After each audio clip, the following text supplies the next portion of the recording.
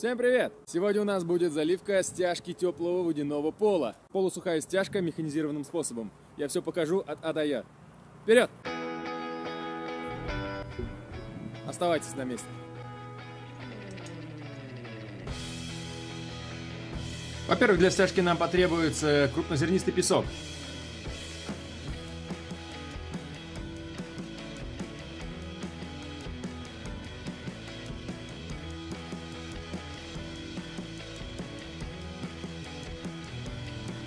Фиброволокно служит для армирования стяжки. Я добавил его в сухом виде. Некоторые скажут, что производитель советует разбавлять его в воде, как же так? Но это подходит для бетона. А для стяжек полусухих особенно было замечено, что если добавить его в воде растворенной, то он потом оказывается катушками. Полностью не размешивается. Не знаю, в чем дело. Практический опыт. Цемента и песка 5 к 1 соотношение.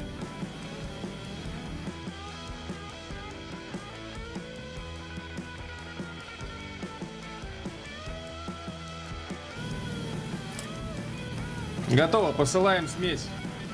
Компрессор нагнетает воздух и под давлением посылает его по шлангу. Порциями он поступает сначала на второй этаж.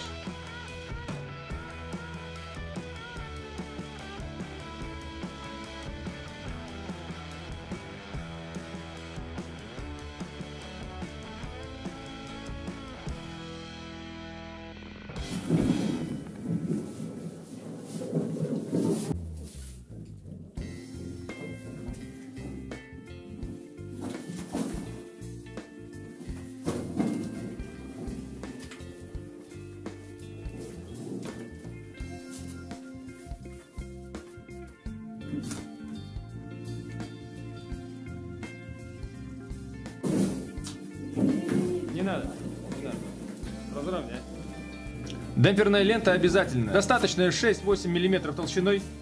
Служит для того, чтобы стяжка пола при нагреве расширялась и не трескалась.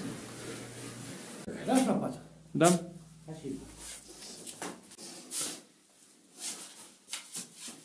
Сейчас недавно отказался хотеть. Заказ хочет на трубы делать 3 сантиметра. Говорю, Почему? Нормально так я не буду. Я так не делаю. Вот там насосы умник, они вот делают. Через две недели вот Паша трещина. А что мне делать? Не знаю.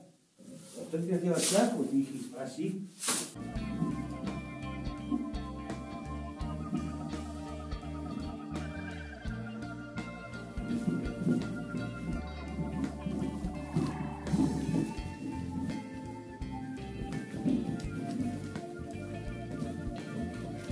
Сначала пескоцементную смесь выравниваем по краям и делаем маяки.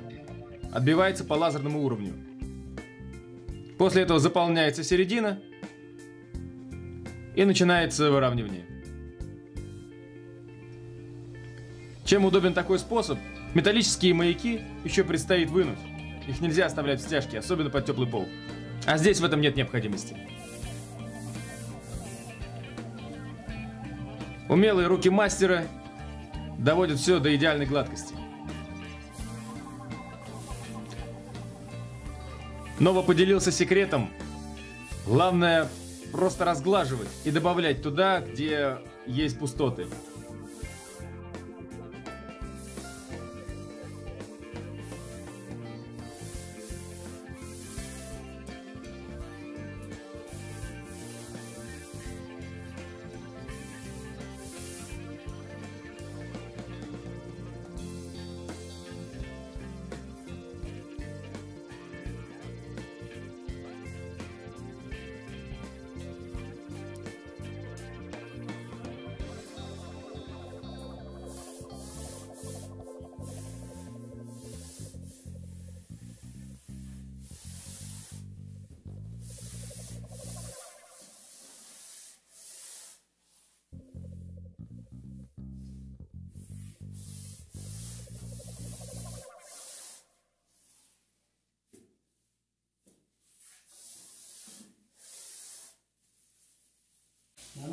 Ну, отлично.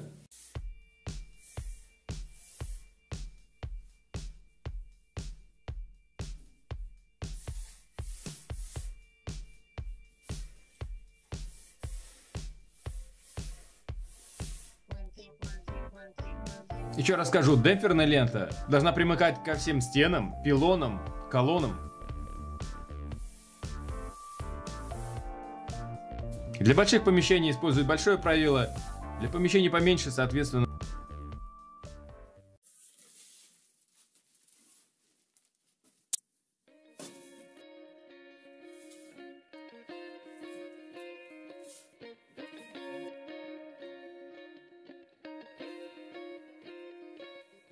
Финишная подготовка используется шлифовальная машина. С ней можно добиться идеальной гладкости.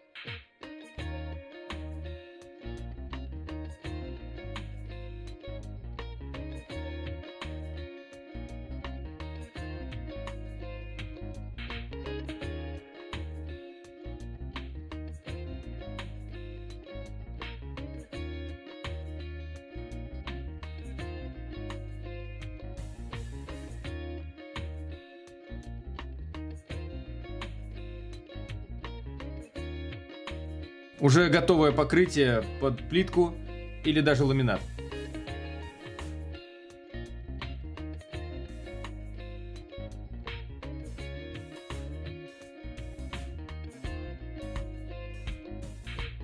Никакой выравнивающей стяжки наливного пола не потребуется.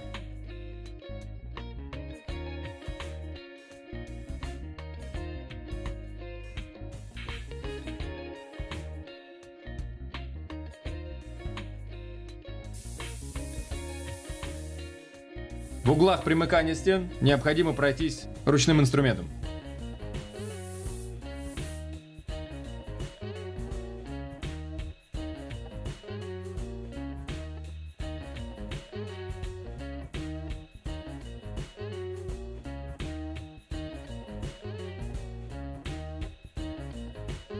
Излишки лучше сразу снять и добавить туда, где нужно. После затвердевания это будет уже достаточно проблематично.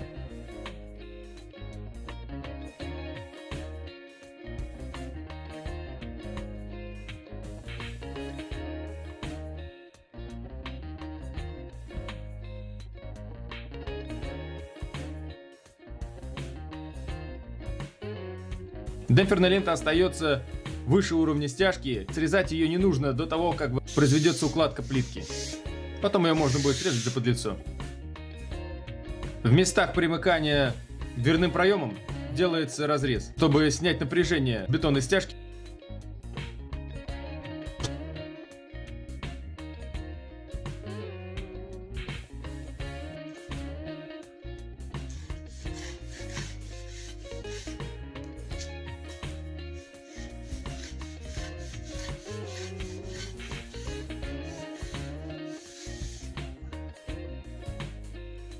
Что будет, если заливать бетон зимой и не обогревать его?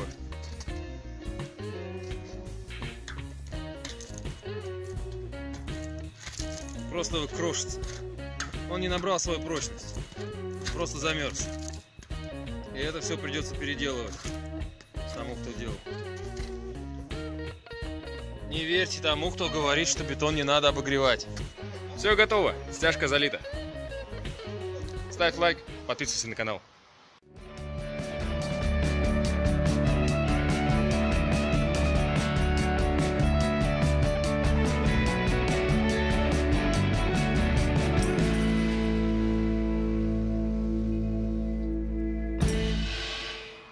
Все, пока.